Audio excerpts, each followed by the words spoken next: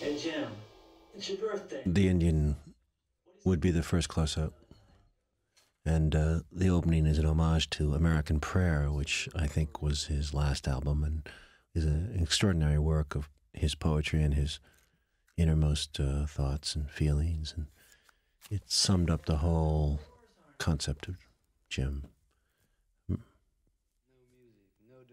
He's on his own. No music, no doors. Uh, he's isolated. He did this just before the end, before he went to Paris. Did it quickly, from what I gather. And uh, we used John Densmore as the uh, drummer, uh, the, his drummer as the uh, engineer inside the uh, booth. Is everybody in? Is everybody in? Is everybody? He's gone to The ceremony. beard and heaviness, Ernest Hemingway image. Wanted to be a filmmaker and a writer and moved to Paris, get away from his troubles in America. Took a helicopter out in the desert and went right over the cliff. Shooting uh, our second picture in scope, Bob Richardson and I. Uh, this is an ILM shot. We put, we struggled to put the clouds in, put the storm in. It was our first exposure to uh, this kind of computer work, and we went back and forth. There was a lot of trial and error with ILM, but we they ultimately did a very good job, although it was an expensive job. That's incredible uh, landscape. Uh, that's my son playing young Jim. Uh, and Jim, in his uh, biographical uh, details of his life, often referred to having been heavily influenced when he was a child in the uh, desert, driving with his parents. One of his father was an admiral in the navy, ultimately at the Gulf of Tonkin, and uh, he was heavily influenced by uh, a car accident he'd seen where a group of Indians had been killed, and he often said that the souls of these Indians had jumped into his uh, into his mind, into his heart. We put the peyote drums in here to echo, to forewarn the uh, Indian influence in his life. These drums we actually accumulated in uh, in uh, in uh, South Dakota at the Sioux Reservation at several uh, ceremonies. My son hated doing it, but uh, he was a brave trooper, and uh, we decided to get rid of him and jump the movie ahead here and deal with Jim when he's an older person. Moving in out of the desert, coming to the city. That's a real sky, believe it or not, where uh, we, we had beautiful uh, deserts in uh, Southern California, and the lizard comes in and out of the movie as a totem. Paul Rothchild was a major contributor to this film and worked with Jim, worked with Elektra, and uh, just loved Jim and uh, conveyed that enthusiasm to us through the whole movie, the whole process. Tried to restage Venice, California, actually at Venice, in Venice. And he had no problem finding extras and people that brought out all kinds of knickknacks and uh, clothing. They wore their own things. Uh, people wanted to get into the spirit of the doors. Don't waste any time. Bring Meg Ryan into the movie. She plays Pamela Morris. In the background is a lady in a leopard skin coat that is going to end up being on one of the albums that Jim made. Poets, Jack Kerouac on the road. 1950s uh, beat culture influenced Jim. the idea is we changed the moods with the music as we moved.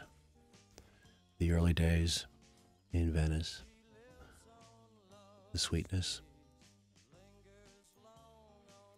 This is a beautiful shot. I love the uh, tree. This is in the canals of Venice, where it's very difficult to uh, actually shoot. It's very hard to get equipment in here. We had to wangle a permission from the authorities. Did a lock-off shot and a dissolve right tonight. Came back same same uh, a few hours later and did the same shot in the same position. Bill Graham was a major, the major, one of the major rock promoters of the of the era, and was involved with the project from the beginning. It was very helpful to us. This is our homage to Ross Hunter. Got a problem with doors? Waste of time. Pamela Morrison seemed to exert an influence on Jim's life that was very, very uh, uh, push pull. They had many. Uh, he was attracted to her from it seemed from the beginning. She had a quality of small town American uh, innocence and great beauty, but not overpowering beauty. Just attractive to him, and uh, he always seemed to need that kind of nurturing that she provided him as a more of an image. I always felt more of an image than the real thing. Uh, they stayed together through much turbulence up and down.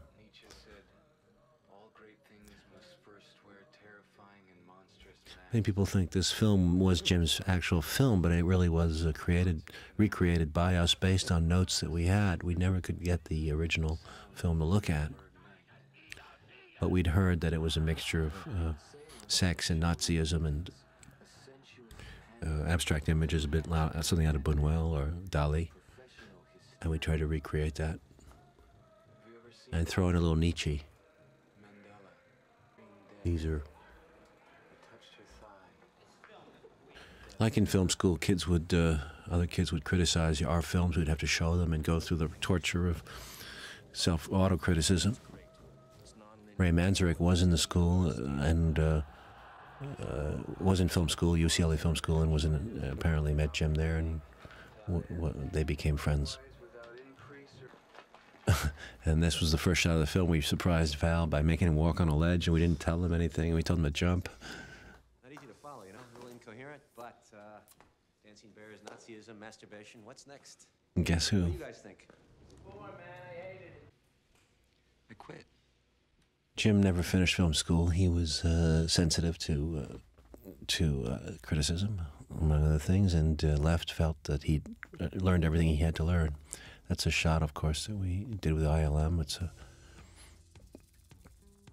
a superimposition of a moon over a landscape that we enhanced. Jim hung, hung out in Venice. He wrote notebooks. He had friends. Uh, they uh, film school crowd, but also ran with other people, and he lived on a roof for a while. The man playing the teacher was uh, I played him myself uh, because I wanted to uh, give a sense of have fun with it and have a, and have a sense also of Marty Scorsese was my teacher. He had a little beard at NYU, and he used to uh, run the classes. He was never that critical as I was in that movie, but I think I was having sort of a go at some of the uh, film critics that are always tearing films apart. And Phil, Jim was found pretentious by a lot of people. There was, I see that, I saw that in a lot of his early. Uh, the film was considered pretentious, and the quotes from Nietzsche reminded me a bit of uh, some of the films I did myself in film school. That's a great shot, and we got that actually live. We put the moon in, but we got the shot at night. These are some great shots of Venice at night. The moon we put in here. Now I have come again to the land of the fair and strong and the wise. Brothers and sisters. And this is some of his reading material Artaud and McLuhan and Mailer and uh, uh, Henry Miller. Now night arrives with And he wrote many poems. Another mood now coming across us with, with his new music. A little known song of Jim's. Showing a side that very people will know about, that very tender man, very sensitive, very sexual. He was very connected to mythology, studied shamanism, and uh, knew of all the shamans of ancient times, all through different cultures, and uh, obviously quoted the shamanism in his own work. And the early reference to Nietzsche is interesting because he was aware of German philosophy, and Nietzsche often talks of the energy, the, the tremendous energies that are coursing through the world, the monster of energy, uh, which is one of the early quotes that we use in the film. And I have to, you have to look at this film in a sense as this wrestling with the energy that's inside Jim, this wrestling with a cosmic force that's negative and positive. It includes the devil, you and Jim. Uh, was too would never build walls around himself that would keep of decency that would keep the negative out. he, he embraced both. Does death turn you? That's the hippie argument that she represents in a sense. Beauty, truth, John Keats. Whereas Jim is in a darker, more sadomasochistic trip. I could say that Jim is closer to the Rolling Stones and she's closer to the Beatles in that 1965 vernacular. All the poems have wolves in it. That's a, a line I found in a fragment of notebook. I love those lines. Found them as a fragment. They had no, uh, they were never part of a song, but all the poems have wolves in them. He, we use that quote later in the movie when they're at the precipice of the relationship. That quote comes back, and there again is a. We started to play with, uh, you know, stop motion and animation and the emotions in the clouds, the stars. That was a great shot of the beach above, looking down at the bathers. Kyle MacLachlan coming off a David Lynch movie, Blue Velvet, always reminded me of somebody very uh, straight and square jawed and uh, had that aspect like uh, Ray Manzarek had of straight ahead strength. It's actually, uh, this is a version of uh, something that happened one day that Manzarek referred to as a very magic day when he heard his, one of Jim's songs on the beach. And it just uh, made this possible the concept of a, of a band that would come in, in that new age of golden age of the birth of new ideas. If the Beatles could do it, why couldn't we do it? Val had a lovely voice, and uh, I think you heard that there a sense of a natural, a natural rhythm, a range. Uh, so did Jim. Jim had a beautiful voice. We're playing with wigs here. It's tough. You know, people are judging uh, Val by very severe standards. Of Jim was a beautiful, godlike uh, person in his youth. Val is obviously 10 years older at this point in the movie when he's making this movie. But uh, you have to go with the spirit of the person. You, you can't, you know, go sometimes with the exact same look. You pay for that another way. So, yes, Val is 10 years older, but what a spirit. When the doors of perception are cleansed, things will appear as they truly are mescaline experiments, reducing the sugar flow Key line from Huxley that the acid line. Your mind will be cleansed and the doors will open. So we go right into their garage band period when they were working out for they were it was a long period, almost up to a year or maybe more, when they played in their Robbie Krieger's father's house in the garage and they had other hangouts trying to get their energy together as a band, get some songs together. They had to do originals. They couldn't live off these other people's songs. They had to make their own up. Here we try to show the genesis of a song and how it got fixed and uh, how it became uh, successful as opposed to what you just heard, which was kind of almost there but not quite. Other members of the band there, Frank Whaley, he worked with me on Born on the Fourth of July, and uh, he- he's playing Robbie Krieger, the guitarist, and uh, Kevin Dillon, who also worked with me on Platoon, is playing uh, John Densmore, the drummer. Robbie actually wrote his, uh, the uh, song "Light My Fire," and he shows that here he he, he reveals it. But uh, Jim wrote most of the songs in general. This song uh, swept the world. Obviously, in a movie, you know, people they work for hours, and uh, it doesn't come together that easily. But there is always a moment when it does do it does come together, and uh, it's nice to feel that. I mean, it is the movie is already two hours plus, and you know you have to. It's a question of your balance where you want to go with the early days and working, struggling, more of that, or do you want to deal with the later days? And choices had to be made, so it does happen quick, I suppose, by the standards of uh, music. It becomes successful, but a year a year in Venice uh, seemed a lot for to uh, to to dwell on. The seeds of the movie have, uh, for me, are more to do with where Jim goes once once he becomes once they become successful. Because there were so many bands that became successful in this period. It was a period of growth. New people were being given shots, and there was must have been a hundred bands that, that did well. But there's no question that Light My Fire, that uh, the first album of the Doors, is one of the most enormously successful albums of all time, and swept the world quickly like a fire. And I heard it in Vietnam, and It came out, I believe, in April of '67, and I heard it pretty much right that month or thereafter in a hooch down in uh, down in the in in one a base camp in Vietnam, and it blew us away. I mean, we were smoking dope, and and uh, it was an acid culture. It was a it was a culture of, of rebellion and, and sensuality and a breakthrough in sex. In sex, uh, it was beyond what Playboy magazine meant, and. Uh, not everybody got it in the Vietnam uh, infantry. I could say that we were split. I mean, a lot of guys were listening to country music and carrying on, and, and uh, a lot of uh, black guys were listening to the Chambers Brothers, and uh, that was cool, and Jimi Hendrix, and uh, a lot of people just got into the Doors, and uh, it was more like in the Rolling Stone culture, sort of a, a word thing too. The words were tricky and had meaning to people. This period here is the Sunset Strip period when they were working the clubs. They obviously worked far longer than in this movie, but they were immediately hot in the LA scene because the girls liked his ass and they liked his body and his body, you know, and his long hair and his sensual sensuality. So he was uh, sort of known around the club right away, the clubs, and had a lot of groupies. Break on through as they were singing and light my fire all of which ended up on that first album. This is a this is based on a club called London Fog. If you look closely, you just saw Paul Rothchild in there in the red shirt with uh, red glasses. He was the music uh, producer for Jim for most of those albums. This is this would be about '66 period, the 1966 period. So uh, Herman Hermits, uh, the Monkees. Uh, yeah, there a lot of groups were based on the on the on the uh, Beatles, so they cut their hair like that.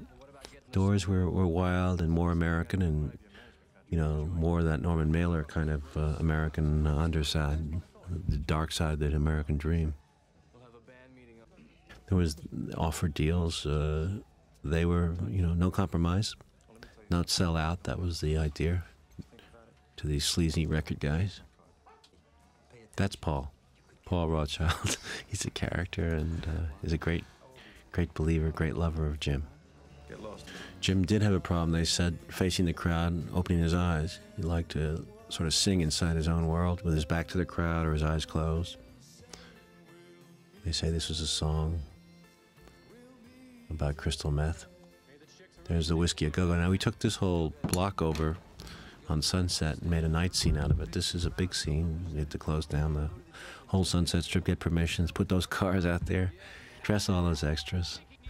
It was a massive undertaking and cost cost a little, quite a bit of money. We did it between the hours, I think, of uh, midnight to, to five or six in the morning. And it was fun walking out there and controlling the Sunset Strip and having that whole strip closed down. And of course, it's tiring to work those hours, but it was fun in a, in a, in a way, an unforgettable experience. You know, looking look look in the background, you'll see depth, and you'll see the signs are redone.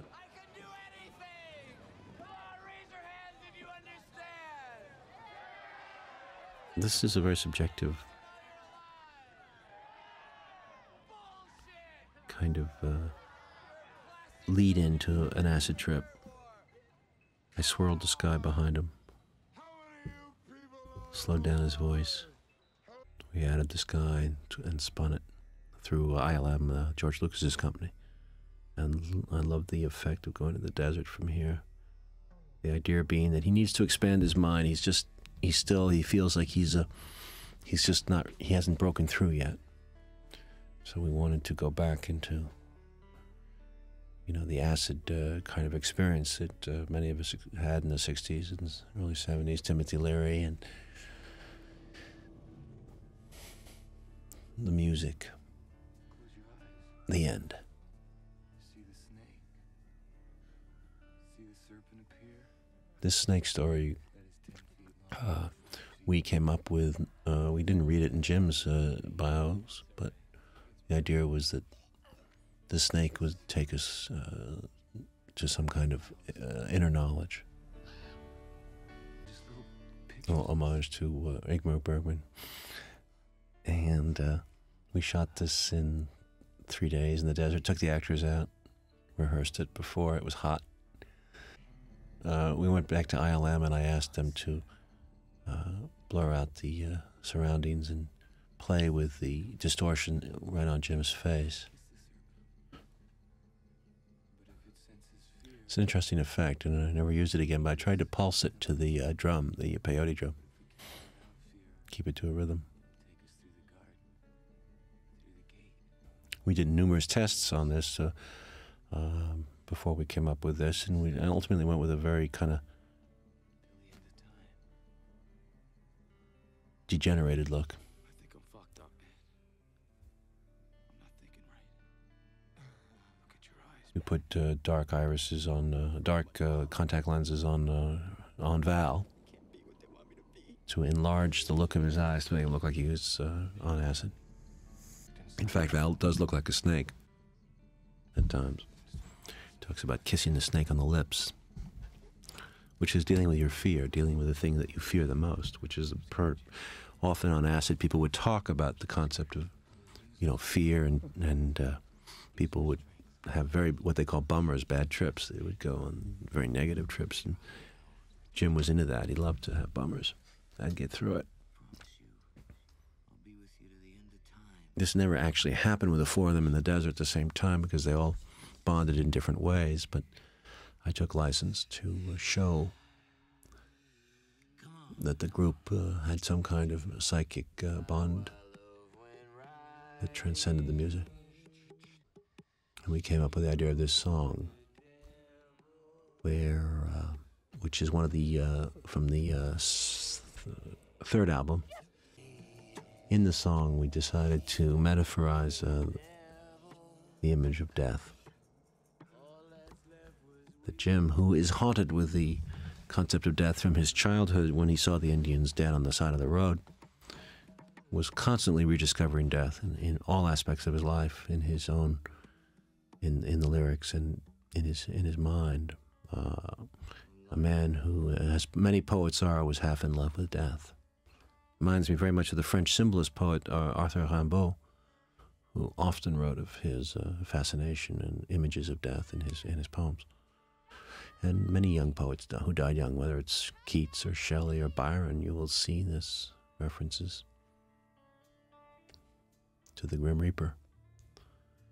That was him on the white horse. Jim has to leave the group to follow his path to his own death. That is what provide. That's what gives him his creativity. Here we, we played with the sun. We put an eclipse on it, and we did some time lapse work here on the rocks, which we hadn't seen that much of in 1989, 1990 when this film was made. 1991. We went into some very str- uh, strange rocks up in the, uh, I believe it was Death Valley area. I had won the Academy Award a few days before for Born on the Fourth of July. In fact, about a day or two before, and I, right after the award, I flew out to the desert and uh, started shooting this scene. And I wanted a lion, a mountain lion, to come in, and that mountain lion cost us a lot of time in the cave because we were shooting in these national historic caves with, with, uh, with you know restrictions on the shooting. We had to paint some walls which uh, we used some water paint, but it stuck on the walls, and we got into you know, those pictures that you see. We got into a, tremendous amount of negative publicity about our ruining the uh, canyon walls in the desert, which was not true because actually the uh, they uh, eventually came off within a few days later. But uh, by that time, then the publicity was out that we had desecrated a national monument. In the cave, he sees an Indian spirit, and he sees his own death. Huh? Or feels it. The shot's interesting. It took a lot of work, but we went right into the eyeball and tried to uh, to go into the next scene and see the Indian singing. See the see Jim singing back himself singing the end. That shot was very difficult to get, but it sort of seeds the next creativity. Uh, which was one of the most powerful songs on the first album and put him in another zone. Uh, the end when he started to sing about the Oedipus uh, theory in rock music. Nobody had done that before. Nobody had sung about so personal relationship to mother and his, mother and his father as, as Jim Morrison had.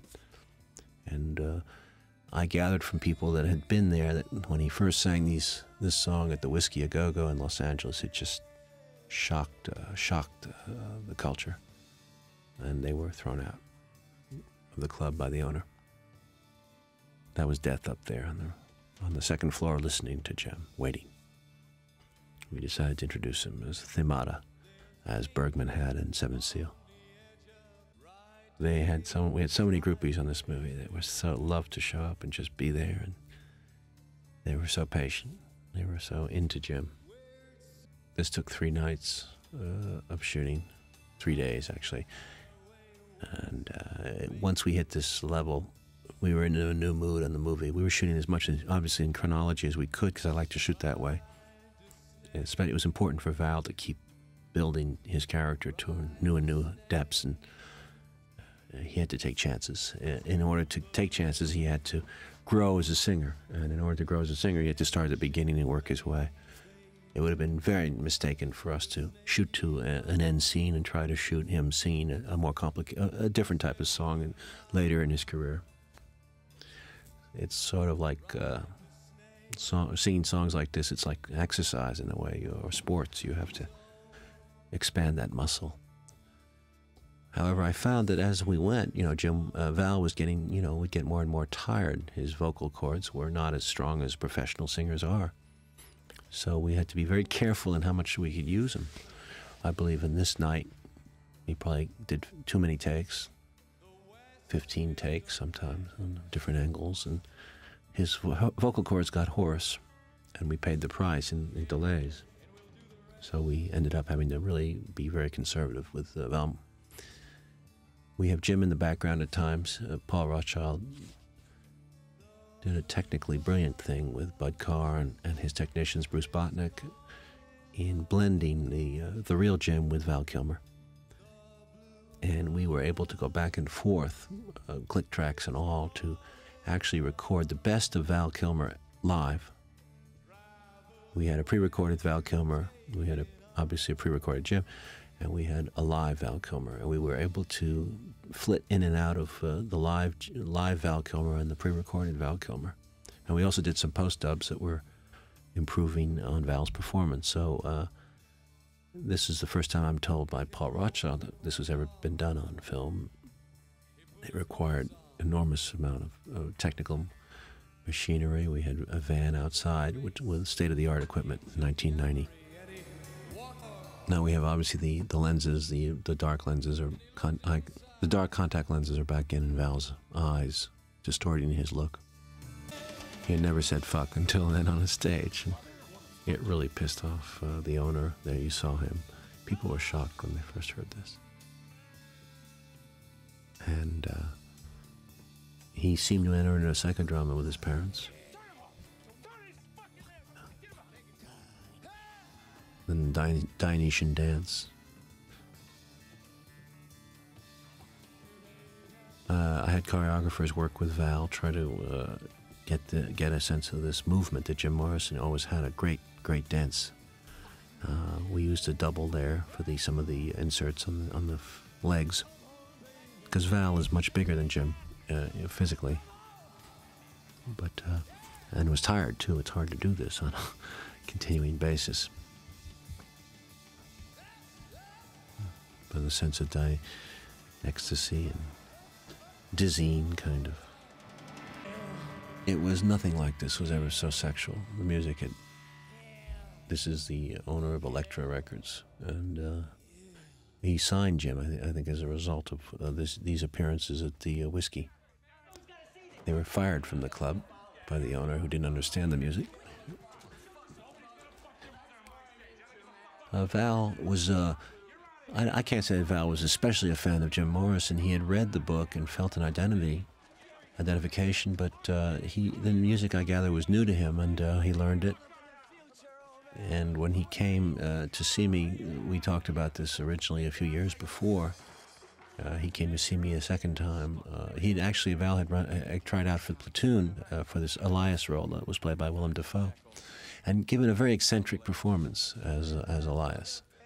Uh, seemed to me as a very strange man, but I found him haunt, fascinating, and I thought of him when I read The Doors, and I was very, very much impressed by his work in Willow. I, saw him, I found him dashing, and uh, he reminded me of Morrison. So when we came back to the film in 1990, he was uh, ready to work and came fully prepared, did his own audition, filmed himself. Very narcissistic in that sense, and I thought that was right. He caught the flavor of narcissism that Morrison had the sense of self, the sense of presence.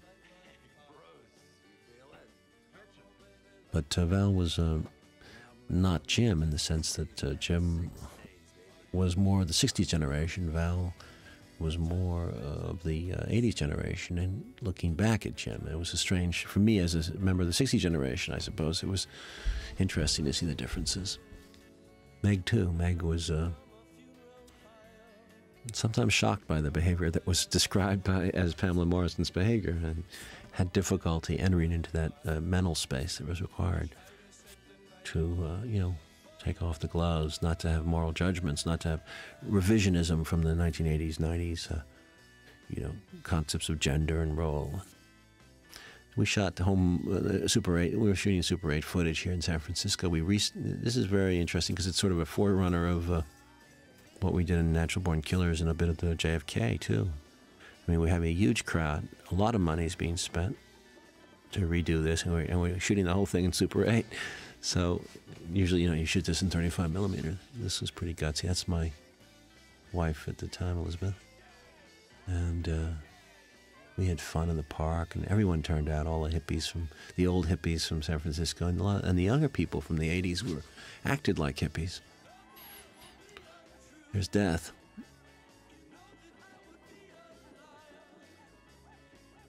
And again. Come on, baby, light my fire. I went back to the song again because it was really their anthem song. It was their most commercial song. It played the singles. It put them on the map and made that first album the uh, the hit that it was. This is the, a homage to the Fillmore up in uh, San Francisco where we shot it that wasn't the original Fillmore, but it's a. And uh, Jim was famous for all kinds of freedoms on the stage, jumping out there. And he loved the uh, the bond, the, the being eaten alive, the concept of being devoured by his audience. We continued the home movie aspect into the uh, right all the way up into New York to show the sort of giddying sense of you know, that first adulation, that first love that you get from an audience can never be repeated. That's their new manager, uh, Bill Siddons. This is this is based on a interview they did, home movie type interview, which I saw. They're on their way here. They're national heroes and New York looms, 1967. This is a, certainly a cutting edge moment in, in our history, 67, 68. Um, New York was in, in, the grip of big change, Andy Warhol, and uh, there was a new fashion consciousness that had come from England. People's clothes, their hair, their behavior was changing. We shot this actually in New York and uh, got quite a big mob out there on 7th Avenue. And there's the Whiskey Bar song from Bertolt Brecht's uh, Whiskey Bar, uh, written by XYZ, but uh, that was uh, an anthem song for Jim, We Must Die. I was bold in those days, uh, you know, ready to take on actual personage, personages. I had said, well, let's go for it. I mean, everyone warned me not to do things like Ed Sullivan or Andy Warhol, but I said, let's do it. Let's try for it. Let's not get self conscious. Let's stay loose. And actually, this guy who was almost impossible to work with because he was an old fashioned vaudeville comedian looked like Ed Sullivan in a weird kind of way. But he would uh, never repeat his lines. He would insisted that he was right all the time. Very interesting to work with somebody like that. But you see here, Meg Ryan playing Pamela is already very possessive in a way of, of Jim, always possessive. People said that she was a strange contradiction, that she would be a monster. Many people didn't like her that I talked to that knew Jim. They, they didn't understand why he stayed with her. They were uh, censored on the air with uh, Ed Sullivan and warned about this. This is Josh Evans, the son of Bob Evans and Ali MacGraw. He worked with me on uh, Born on the Fourth of July, and uh, he played the brother of Tom Cruise, and I used him again Bill, for Bill Siddons. I felt that from 1967 on, there was a bit of a, a stronger and stronger split between Morrison and the rest of the Doors. That he, Jim, continued sort of on another path of self-exploration, and there started to be a differentiation in, in their approach. And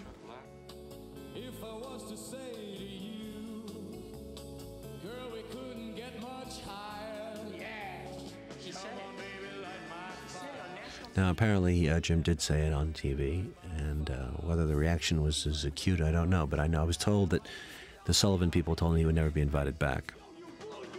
Obviously, Jim made many trips to New York, but this being a movie, I tried to put in, uh, you know, the concept that uh, things changed uh, pretty radically in New York.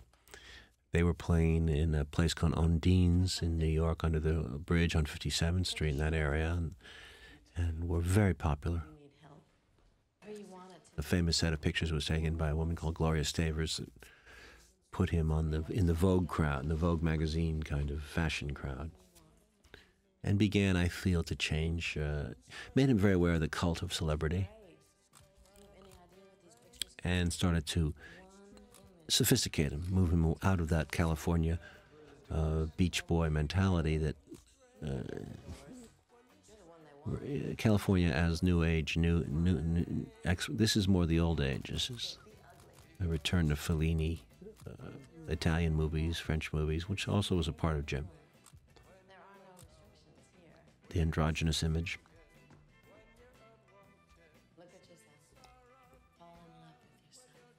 And a dizzying sense of uh, self and loss of, uh, you know, obviously the question arises of who am I? And,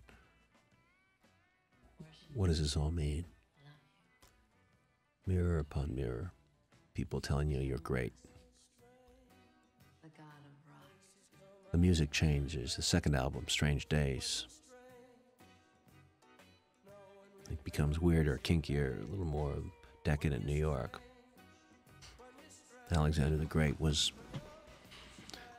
someone referred to by Jim and obviously has historical significance because he was handsome and he was on top. and he was a god, a warrior too. So I think this is the first time I jumped out of the doors to go into a Lou Reed uh, song, uh, Velvet Underground. There's Death, the Velvet Underground of uh, you know Andy Warhol group, Lou Reed. Warhol gave uh, many parties at something called the Factory drugs were very popular heroin, acid. Paul Williams was an interesting music composer of the uh, 60s and 70s. This is an early view at Michael Madsen, who uh, uh, plays Tom Baker. That's, I believe, a Rauschenberg in the background. We used dizzying camera movements. We tried to get a sense of nothing staying the same. We'd play with a second the lighting on the walls of that period. That's a real uh, snakeskin uh, jacket on Jim. Cost a lot of money, and it really picks up the light. I love this line coming up. Look, that's Jim. I like the door. Hey, John, I like the door. Get out of here, man.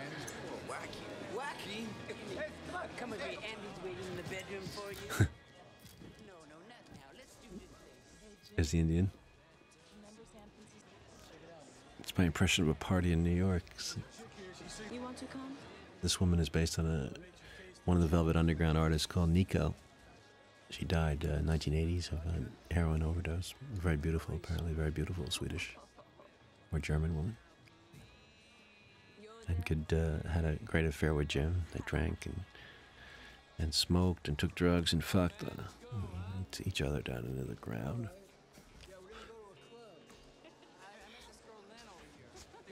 Norman Mailer's at the party, Warhol, everything's coming at you, you never know. the guys want to get out of there. It's a little freaky for them, and this is like an interesting moment. Jim wants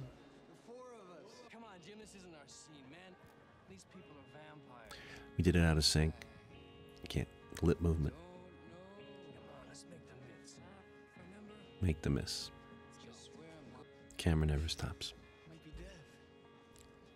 Lights in their faces. It's a great song. I love that rushing that, that Russian that comes in the middle of the song. And it's like he's bored with the group. He doesn't want to. The bond is broken for him. Anything goes. Nietzsche rules. Death waits. Lou Reed was uh, ahead of his time.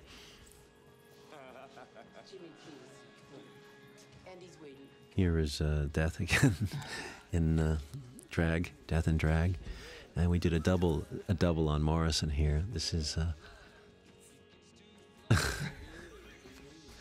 we're playing around, having fun. We went into another room and asked Crispin Glover to take a shot at Andy, and I think he did a pretty interesting job. I gathered from people who knew him that Andy's dialogue, he was very bright, but he was very fatuous in his dialogue and would say the obvious, and sometimes it would just hang there and you would be waiting to see your response. The camera work is floating, druggy, very free, considering we're shooting scope. You have to realize that we're moving it around very, very, very lucidly. I don't know really what happened between Jim and him. Uh, This is all conjecture on our part, but I just wanted to get a sense of a facade, something shimmering that is just mysterious and under, just does has no meaning, or does it have meaning? It's, you question yourself because when you do these kind of drugs, as I remember in the '60s, '70s, everything sort of bounces back on yourself, and paranoia kind of sets in. Barbara Ling, uh, our designer, really played around with lights and effects of that period, and you can see the light revol- revolving. Uh, she used every trick she could find from that period to give it density and de- texture. This Nico uh, looks amazing. Look at the way the light coming off her dress. This shot was done late in the film in New York in the in the snow in winter, and was the, one of our last shots. And I love it uh, because he just parts from Meg here. She goes right, he goes screen left. Obviously, there were many beautiful girls in this movie that contributed their services and made the place uh, jumping with. It just had much more. Many beautiful women in this movie, probably more beautiful than they were at the time in density, anyway. Even death goes by, reminding him that even in New York, death gets there. And uh, we go into a mood of decadent joy.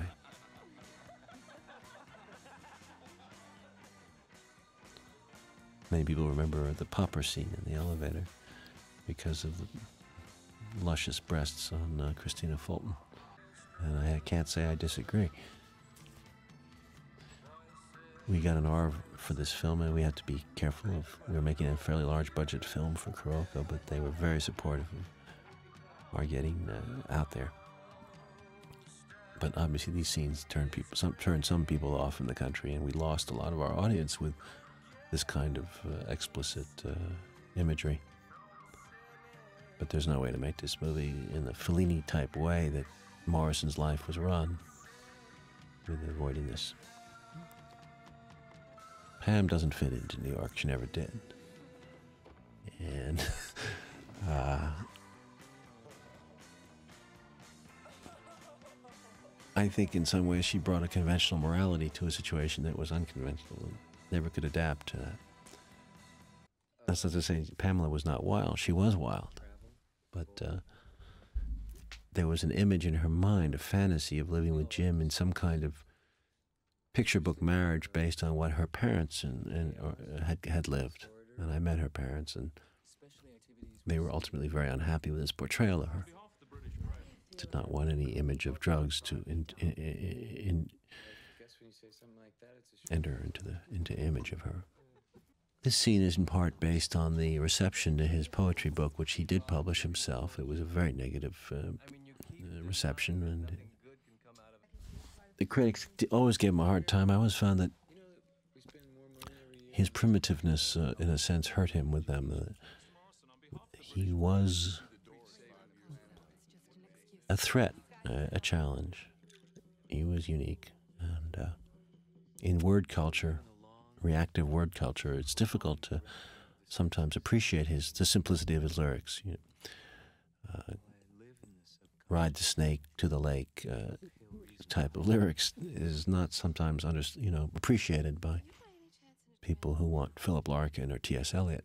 But there was a primitive strength to his verbiage. And this woman is based on Pauline Kael, sort of as a pictured as a crone or as a witch, you know, hating, living on her negativity. Her face reveals all.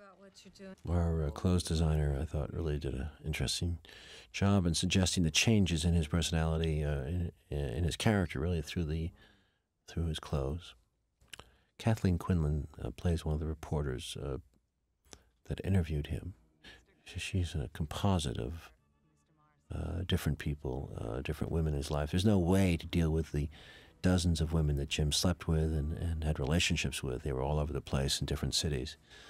I had to uh, come to a condensation, and I chose Kathleen to represent three or four experiences that he had that were strong, startling. One of them was with a witch in New York, a supposed witch, who uh, shared with him uh, Celtic, Celtic concepts of witchcraft, and which he, of course, being shamanistic, uh, appreciated. But she was also the blood. The concept of blood was with another woman who he shared with. He cut himself and shared the blood with him, with her. The witch uh, who saw the, who uh, was pictured in this film. Perhaps we made a mistake by using her name, but she obviously was very upset with me because of, we incorporated other other other actions with other females inside her story. So I think that she uh, she was very upset and uh, threatened to kill me or put a put a curse on me for the rest of my life. Maybe she has because sometimes you never know with these witches. But I think Kathleen was splendid in this movie and very free with her body and with her mind and very generous. A wonderful actress, very under underestimated and underused.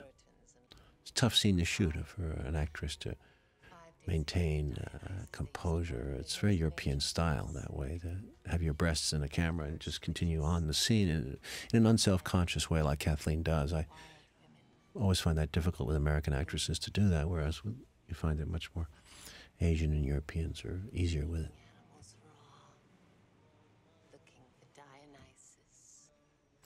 You might notice in the scene where he told the story at the press conference, he lied about his parents. He said that they had died in the desert, and uh, she's going to catch him on this. Cocaine, of course, is a devastating drug, and Can't cut myself. uh, it hurt Jim, I think. That which he did of it, he had a period, of, uh, uh, an extended period of cocaine, and uh, as other people did later in the 70s and the 80s, and still doing now. So, cocaine continues to rear its ugly head, continues to do its cut its swathe of destruction. We went to Carmina Burana here, drinking the blood. I love this set. Uh, Barbara Ling designed it. Bob Richardson uh, lit it, and it is uh, a loft, uh, supposedly in downtown New York, shot in L.A. actually. And uh, the lighting, the effects, the water dripping off the glass. Sense of fulfilling one's fantasies on Earth. A sense of being free. Uh, Jim reputedly uh, had problems uh, with potency. Uh, Paul Rothchild has told me some stories. He did consult doctors and had had some concerns about it. And uh, it's an interesting uh, themata to the to the movie that he is unable to have to have satisfactory sex with uh, Pamela here, whereas he's able to have it under more, uh, you know, uh, dangerous conditions, sinister and dangerous conditions with with other women. Jim started to drink to. In fact, uh, from the accounts that we, I've had and I read, I was able to get 250 transcripts with interviews with people that he had, uh, that Jerry Hopkins had interviewed uh, for his book on Morrison the first book in 1980. And those transcripts revealed a man who moved out of the realm of drugs early on into the realm of more and more alcohol. Jim was also Irish, and maybe he did not drink the quantities that are that are he said to have drunk. But you know, being Irish, I don't know if his genetic uh, structure was such that you know maybe he was not able to consume alcohol. And I've heard that theory too that he a few drinks would do him in. Where's the new wine? The key line I always felt in his life came from one of his songs.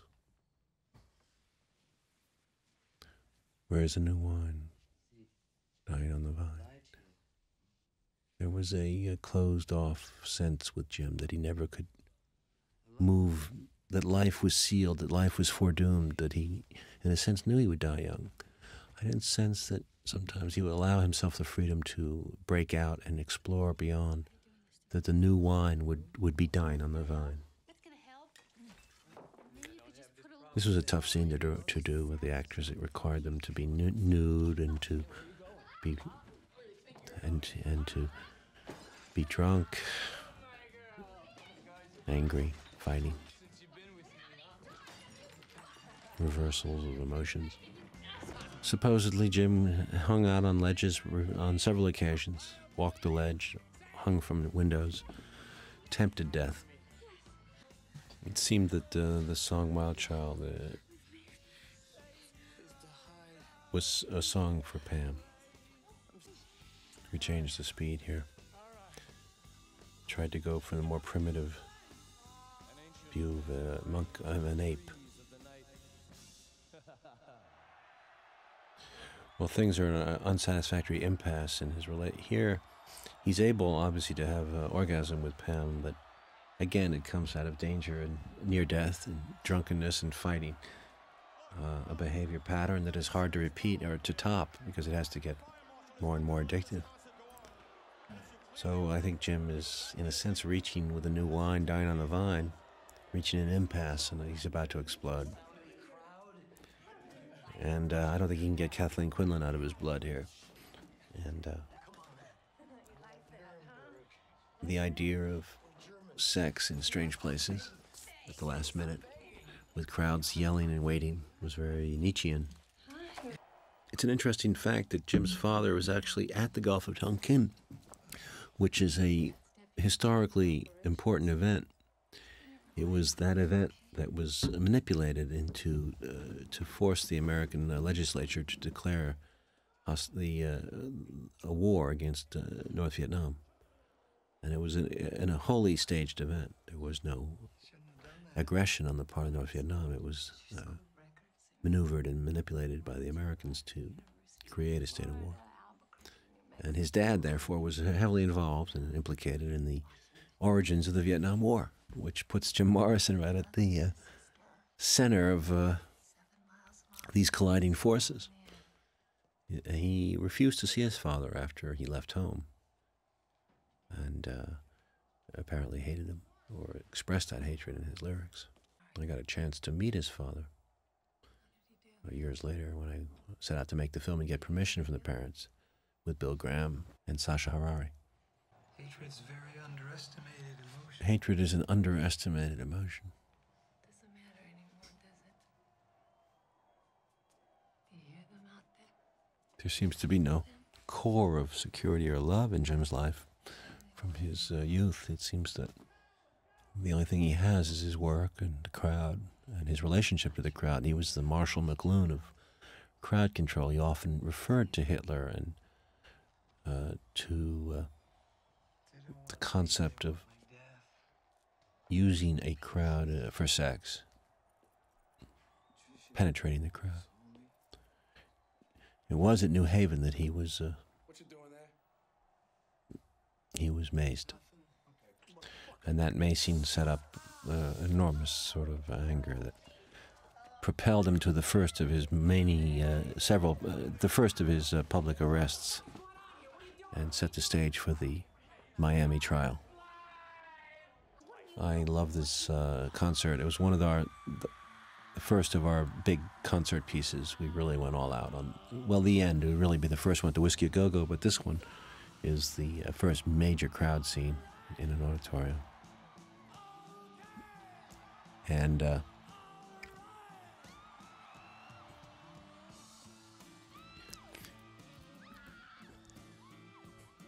I mean, after all, what Jim Morrison was was a great manipulator of crowds. And aside from being a poet, he had this other Hitlerian quality, this ability of a great performer to uh, excite a crowd, to uh, make the people go crazy.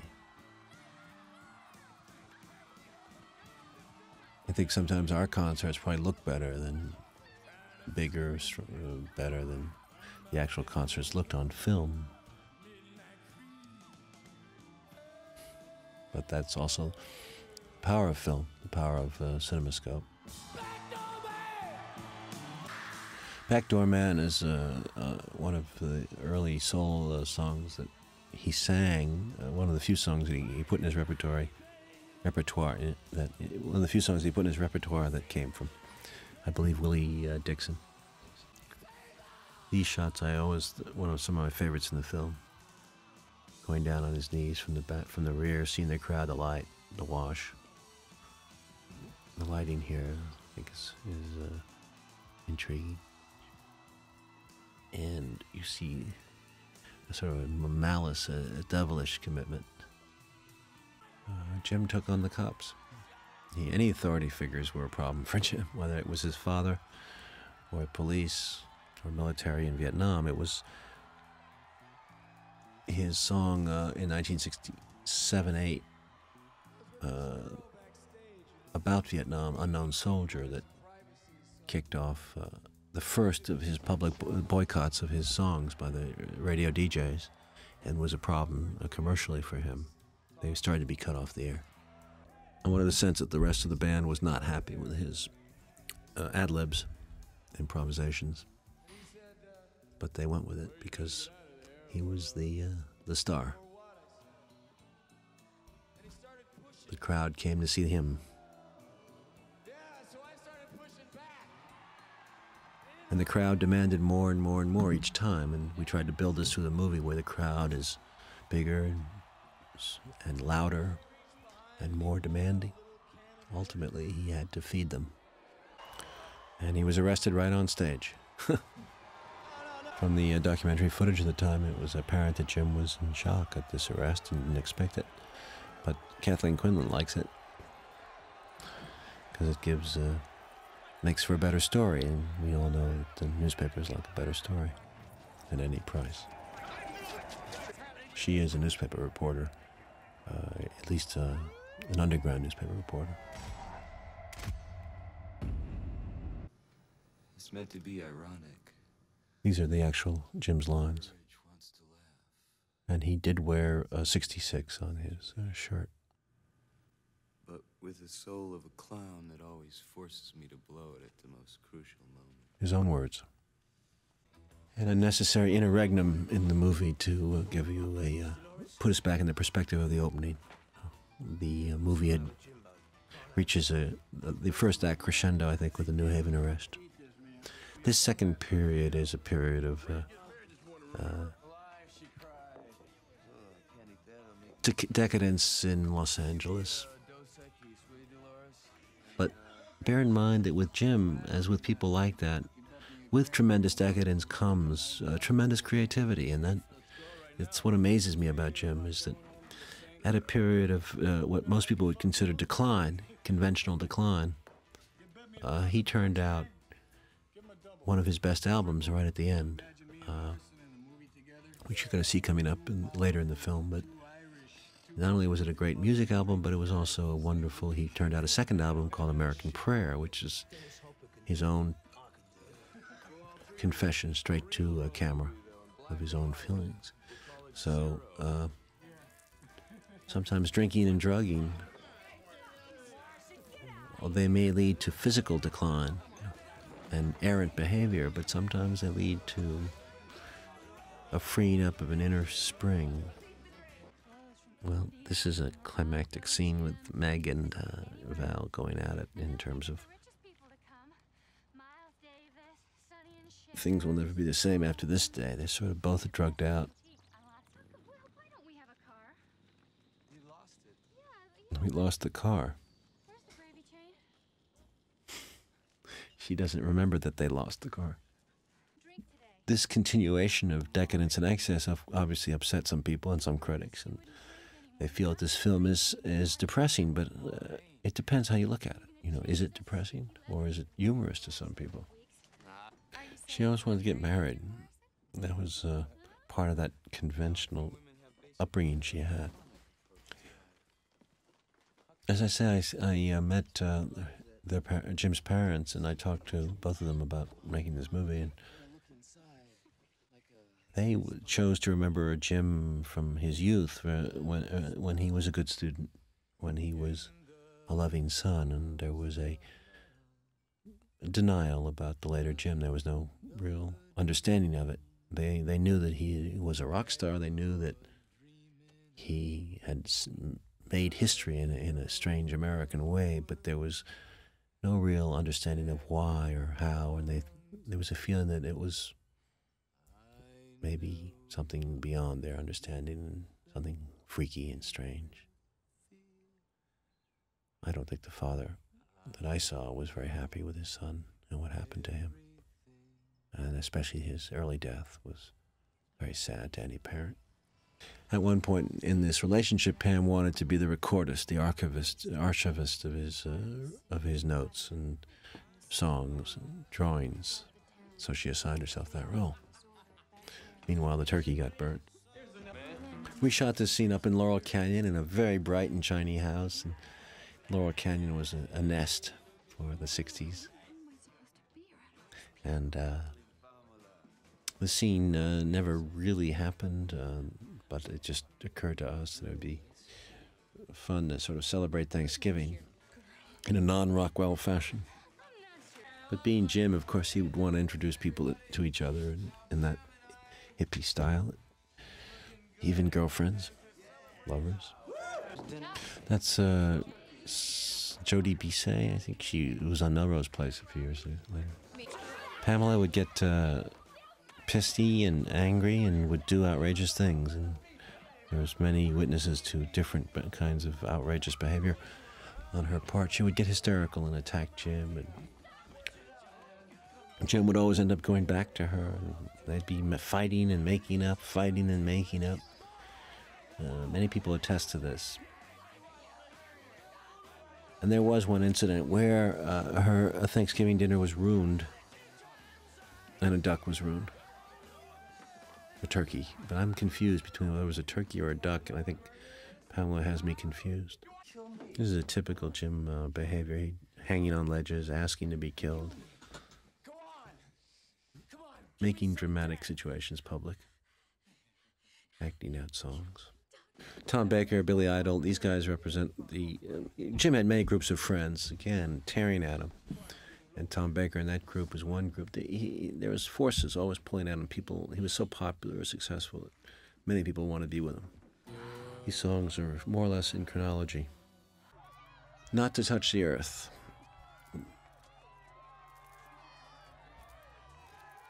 I love this shot. We did it up in San Francisco at the, uh,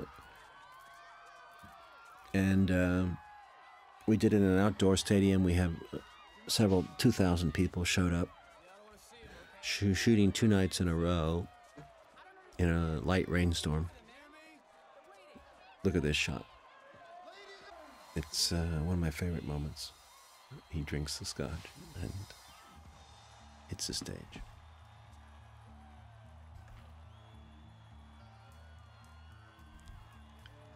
We brought Sioux Indians down from uh, South Dakota, friends of ours, to dance, carry on, and they were shocked by some of the behavior of the San Francisco hippies who were came to this evening on acid, ready to party all night.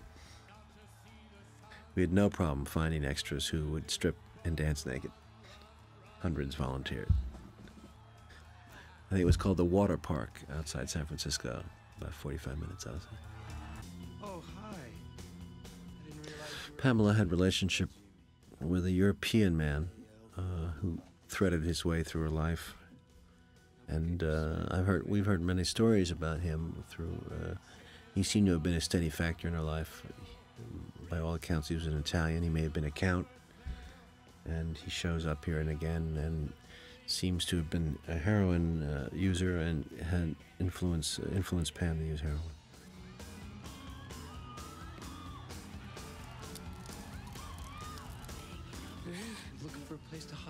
We talking about dead choices here?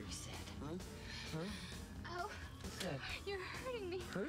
Oh, baby. You in pain? oh, let me introduce you to my Um, this incident uh, uh, was alleged to have occurred by a friend of Paul Rothchild's who lived near near them in Laurel Canyon, and uh, one night Pam ran into his house, uh, hysterical and frantic, and claimed that Jim had tried to set the, her on fire in the closet. sanctuary. Come on, baby.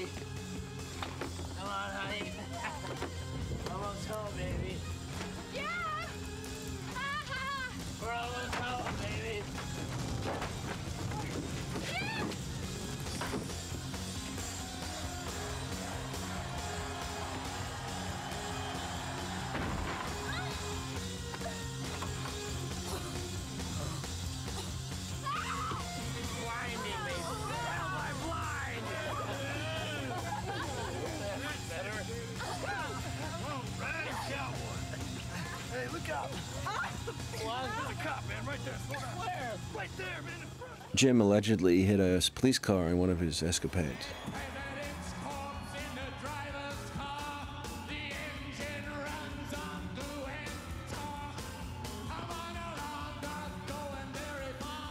But driving this whole sequence, this montage, where I'm getting a lot of information across, is the central song, which is an acceleration of the concept of immortality not to touch the earth, not to see the sun, nothing left to do but run, run, run.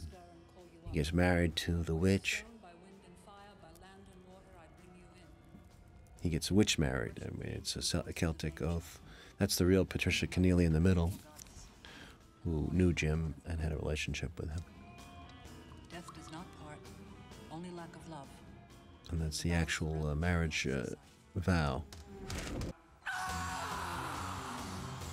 And I thought we, in this flight of fantasy, that even Ray Manzarek, finally, square as he was, would see what Jim sees.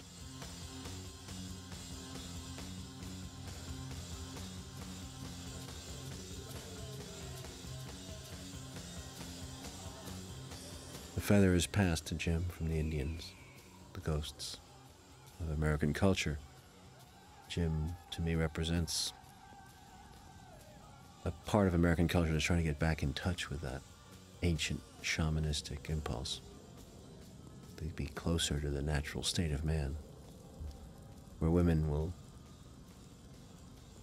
free themselves and men will free themselves. And the fire takes over. And Jim is now down around the fire. He's no longer on the stage. There's Leonard Crow Dog, one of the medicine men of the uh, Sioux Indian tribe. And there's death. And here we're coming back over the crowd to reveal the flames, Barbara Ling's design, uh, licking at the back of the. The flames are everywhere. The world is on fire. It's orgiastic. And uh, I'm very pleased with the cinematics. I think that you get a sense of breaking on through again. But to where, we don't know. We're using, uh, uh, we're making use of the uh, techno crane here everywhere we can, which was a device brought over from uh, England, um, designed in England.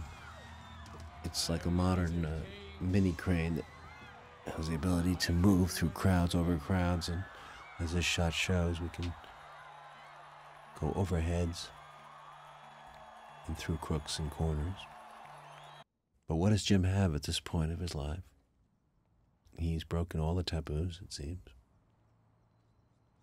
And he's at a point of emptiness, what the Buddhists call shunyata. More girls, another album, Soft Parade. A decadent album, in, in my estimation.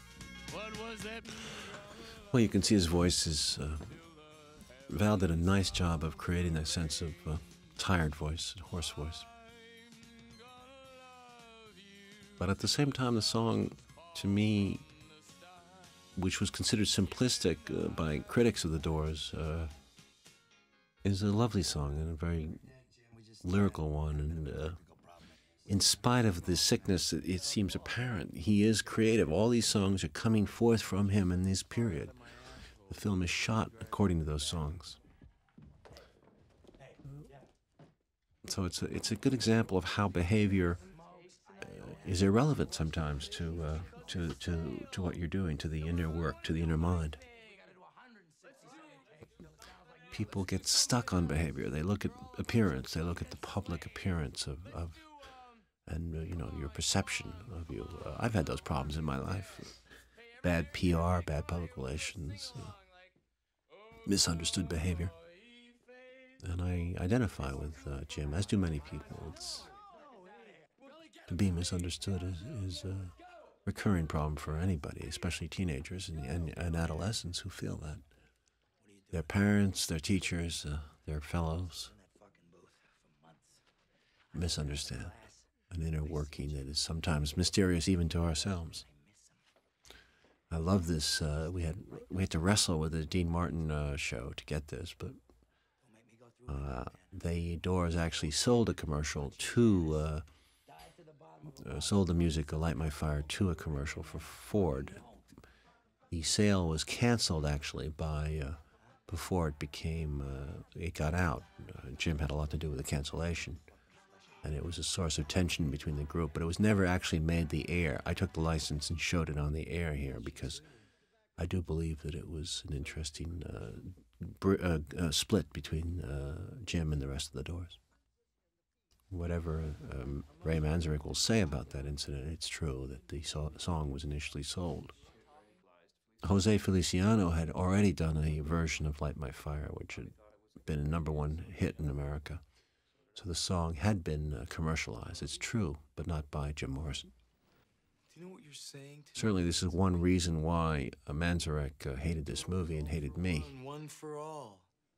These studios were built uh, to specification with Paul Rothchild's input, and Robbie Krieger helped us enormously. Robbie was, the, and John Densmore also. Robbie was uh, very helpful to Frank uh, Whaley learning guitar, and Densmore was in and out and helpful to uh, Dillon but we soaked both their minds for as much information as we could about the period and about the music. Torture me, you know. This period, this section of the film, one could call pathetic. I don't know if if you're listening to Gustav Mahler, you would know that feeling of it going on and on about the pathos. And I think it's legitimate criticism of the film that it does dwell into the uh, this side of Jim. Uh, for whatever reason, I personally like it because it takes me through those songs and makes me understand those songs. But some people would maybe have wanted to lose the outdoor concert and maybe go right to Miami and get on with the movie. It's uh, the film is two hours and 15, 20 minutes and uh, is epic in its approach.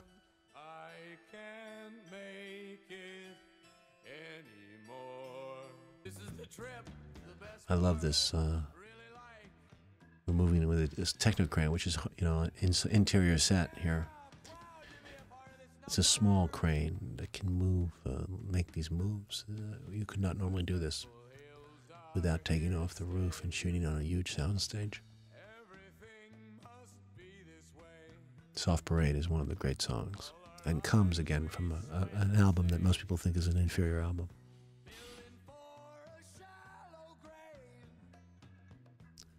You can see a hand up there which is revealed.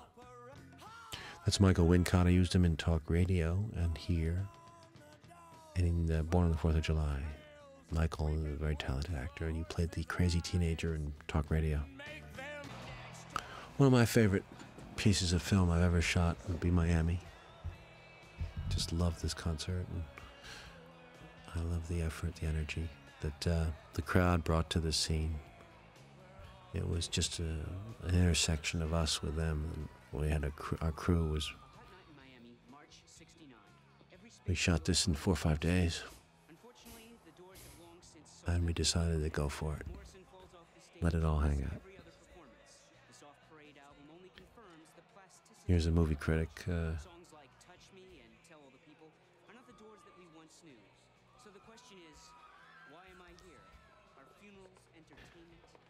one must ask, why are you here?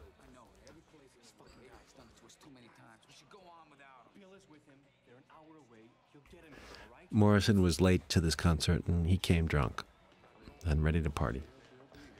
This concert marked the end of his sort of American uh, uh, cultural life.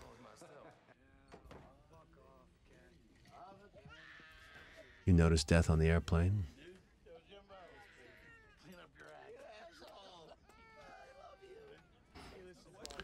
Jim was repeatedly doing some heroin too. Val created the illusion of a belly. He got a little heavier, but essentially uh, was able to uh, jam his belly out there and give us the impression he was much fatter than he really was. We had to thread the difference here between keeping him. Uh, he had to play young scenes uh, around this area, so he also uh, was faced with coming back and forth. What you gonna do for something sacred? It seems that Jim always knew that. He always respected his audience. He gave them his best, but he also hated the carnival atmosphere of the crowd, the, the need to exhibit himself, which had grown to an addiction. So it's a really ambivalent, I'd say contradictory uh, attitude towards what he was doing. He loved it and he hated it. Managers would screw them over, managers would uh, change the deal. He was being used. Having seen uh, many films in the set in the 50s and the 40s uh, that dealt with jazz musicians or people who had uh, gone downhill, uh, I often found those films were a little bit clipped or sanitized in the sense of not really fully dealing with the descent to plunge into hell. And in this movie, I suppose I went maybe that one extra beat. I'm not sure it was right or wrong, but I wanted to give full, full plumage in a sense, the full sense of having a, a descent. Uh, that uh, no one else would share his journey, that he would be isolated in that uh, fall. And it would be sad and pathetic, or like Mahler's uh, symphonies, there would be that extra plunge into sort of a romantic uh, pathos. This is a uh, water uh, reflection that Barbara Ling threw up there. We put all kinds of dyes into the water and played with the uh, colors, the moods of the scene, which is a precursor to what we tried to do with uh, Heaven and Earth and uh, Natural Born Killers. To control the moods through the lighting. Or really to suggest the moods, suggest to suggest the moods through the lighting. Five to one, one in five. No one here gets out alive. Is a great song and uh, underestimated song. And was a song he actually was singing in New Haven. True story. Smoking dope on the stage and just getting away with it when the cop came up.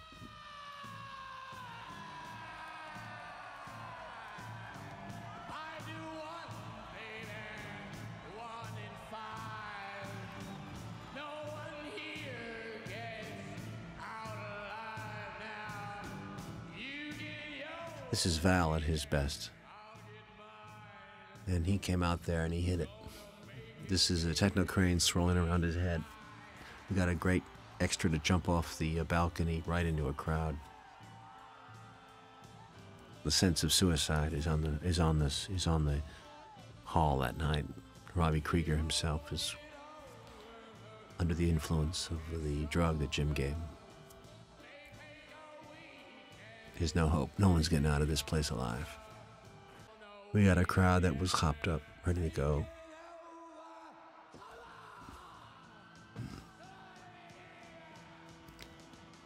Val really gave all his voice into it. He went hoarse doing this. And uh,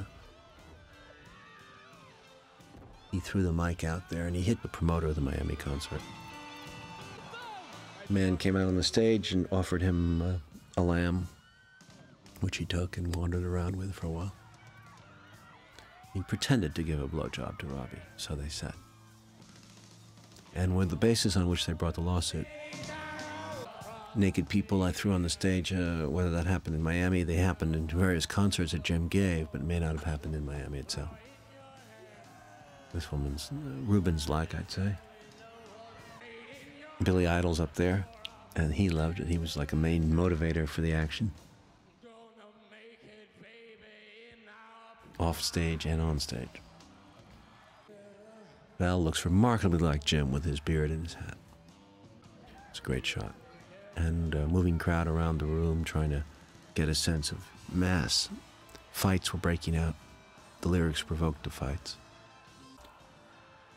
I wanted to go back to the Indian concept that he'd lost touch with his inner being and was struggling to get it back. And the Indian is leaving him now. This is live action. I guess now in these days we do it with computer, but we put him up on a elevator like apparition, sent him up the stage, and he disappeared in the light. You see the lighting techniques uh, flooding in and out.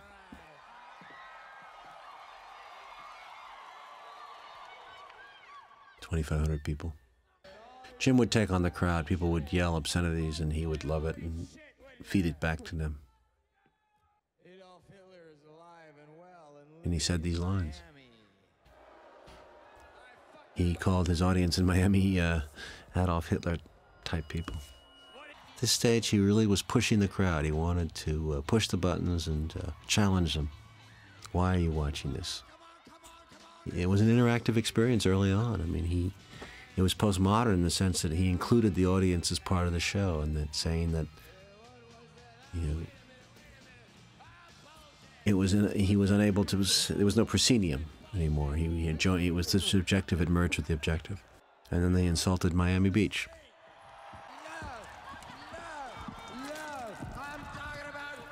These are actual words from the uh, concert, and actually, women uh, responded to the call for nakedness.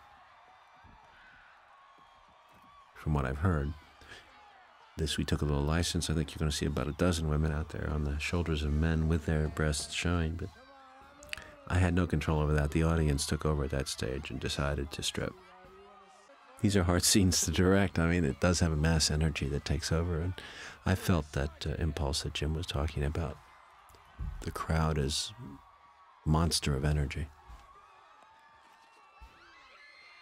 he never showed his penis per any con any eyewitness that I've ever heard. The only eyewitness was uh, a, a, suspected person who really had no basis. I, so all the charges about him showing his uh, penis and masturbating are suspect. That was Billy Idol you saw briefly there, and the fight developed. Once he started, they thought he was masturbating, and they, they jumped him and tried to close him down, and a riot developed. Now I wanted to let loose here with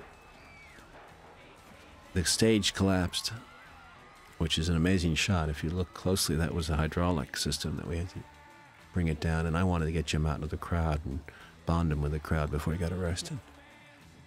This is um, an amazing shot. We just went with a steady cam into the crowd, and we really got them to go follow him and follow Val and naked. Look at the lighting, and you'll see the risks that we were.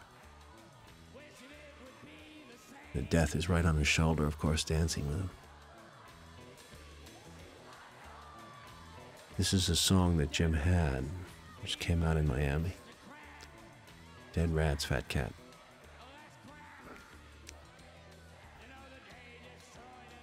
This is a push.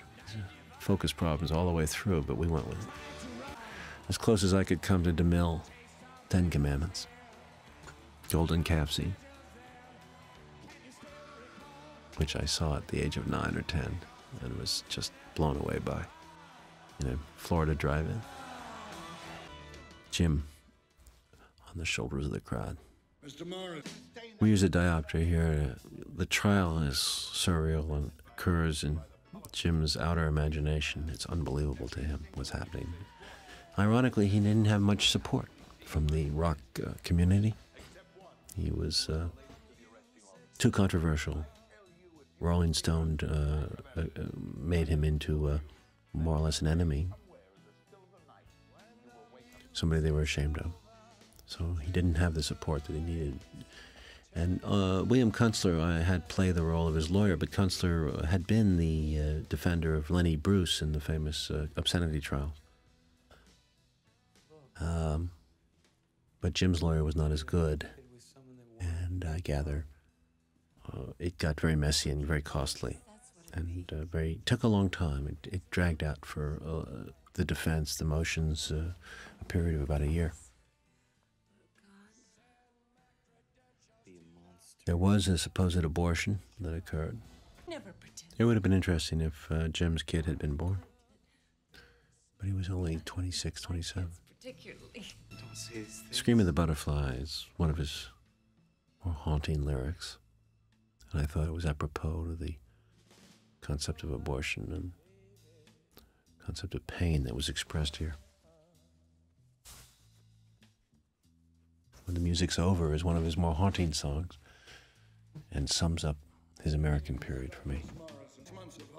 As the uh, outdoor concert was framed by other montages and different scenes cross cutting, so was the trial. All around one song when the music's over. That's Bill Kunstler on the left, who was one of the great public advocates of uh, the more uh, outrageous defendants that exist in our system. Business died, couldn't get booked, couldn't get jobs. 68 was a tough year, a crisis year. America was really going through a vast amount of change and fear and shock. People, it was too much for most people. It was America was on the edge of a nervous breakdown. William Calley, Charles Manson. The end of the uh, hippie era, in a sense, ended with the nightmare and assassination. As if permissiveness were too much. Permissiveness had led to excess, and excess had led to nightmare. I think I'm having a nervous breakdown. We actually shot this at the edge of the Chateau Marmont in, in Los Angeles, the famous hotel. And we put the actors out there in that shot. We had a uh, safety system underneath in case they fell. Needless to say, that is not real whiskey in the shot. They were using sugared water. Very difficult uh, to do this in the real hotel, but we, being a stickler for going on location and trying to get realism, I, I went out there and asked the actors to share with me the 13, 14 story look down into the street. They're out there in the wind on the edge of traffic. In his poetry, he mentions Pamela in the same sense as Ophelia. Well, that, as those words say, mad stifled witness. Um, maybe he saw her as Ophelia, and maybe he saw himself as Hamlet. It's an interesting illusion. But there is something about Pamela that was like Ophelia in the sense that she did go mad after he died. And, although in the play she died before Hamlet, but she did go mad and had no life beyond Hamlet. There was something stifled about Pam. That scene is not satisfactory to me, never was at the time we're doing it. I just uh, felt like it was late in the movie to, to be going back to poetry. And uh, I felt, uh, still feel that that was more of an obligatory scene that I did uh, for reasons of conventional dramatic narrative, and I uh, would probably move right into this scene instead and pick up Pamela in Paris. It's an interesting concept that you're wanted by the media. That was early on in the 60s. That uh, he had no place to go. He'd been pigeonholed as, the, as a rebel and as a troublemaker. He needed to re identify himself and wanted to go to Paris to do it with Pamela. At this point, Jim offered American Prayer to his uh, band members, fellow band members. He had it published uh, privately. And he was working on his last album with them. They'd finished the album. It included, I believe, Killer on the Road, but I'm not sure. I think it did. And uh, was a very productive and creative album, including Roadhouse Blues, which is coming up. This scene is wholly imagined. Uh, I know that he had a decent relationship with the children of, of uh, Ray. But whether he attended a birthday party or not, I don't know. I like the imagery and the concept of love that line. This is the strangest life I've ever known, which sums up uh, my feelings about Jim Morrison very much. In this scene, he could see himself uh, among the kids coming back in the 1950s uh, uh, clothes. That's my own son at the age of uh, six or seven, sitting on the lap of death, ready to go. Come on, let's get some tacos.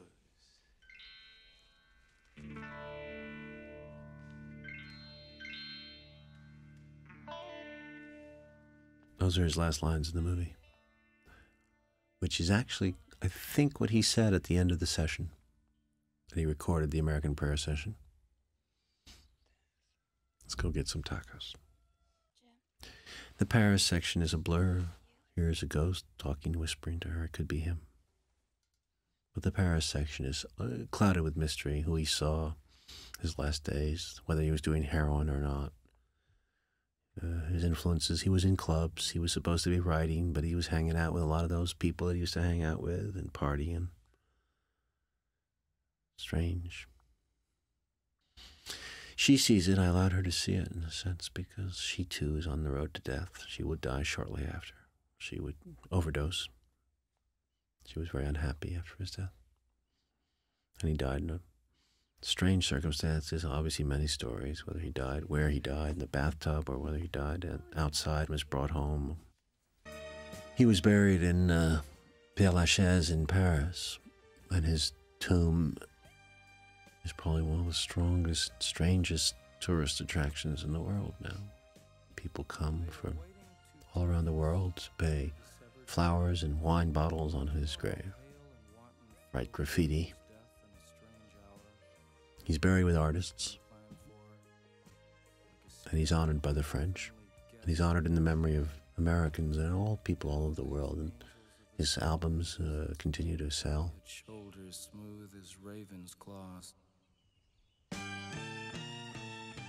Because he had a tremendous integrity of voice. His words are all from his gut. And though he denies it, the fact is that he was in love with his death. This next song was from that last album.